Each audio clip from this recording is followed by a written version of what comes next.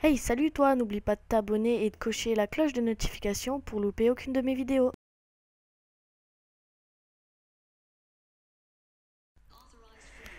Salut à tous et à tous, c'est Supratech, j'espère que vous allez bien, en tout cas moi ça va super. Aujourd'hui on se retrouve pour une nouvelle vidéo, je vais vous apprendre euh, tout simplement comment régler euh, le problème d'action quand on, quand on le lance.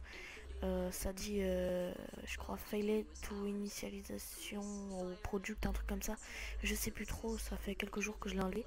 Donc je vais vous montrer comment, comment régler ça facilement. Donc si vous êtes sous Windows 10 comme moi, bah, suivez les étapes. Et bah, si vous êtes sous une version inférieure, bah, essayez de vous repérer. Donc tout simplement, vous allez ouvrir votre, votre gestionnaire de fichiers. Vous allez aller dans ce PC ou sous XP, poste de travail et tout ça. Vous allez dans votre disque dur, vous allez prendre Windows et là vous allez chercher euh, euh, système 32. Une fois ici, vous allez chercher driver. Donc euh, il est assez facile à trouver, mais je vais vous montrer comme ça. Comme ça, vous pourrez vous repérer. Et une fois ici, vous allez aller dans ETC.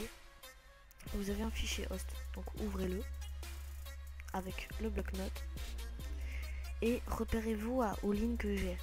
Donc là, il y a, y a le il y a le 2 points espace 2.1 localhost et tout ce qui est en dessous vous supprimez. Une fois ça fait, vous l'enregistrez. Et une fois enregistré, bah, vous fermez tout simplement et vous pourrez de nouveau lancer action. Donc euh, n'hésitez pas à mettre un petit pouce bleu si ça vous a plu, si ça vous a aidé surtout. Et à vous abonner pour, euh, d'autres tutos. Donc euh, je vous dis à la prochaine. Bye tout le monde.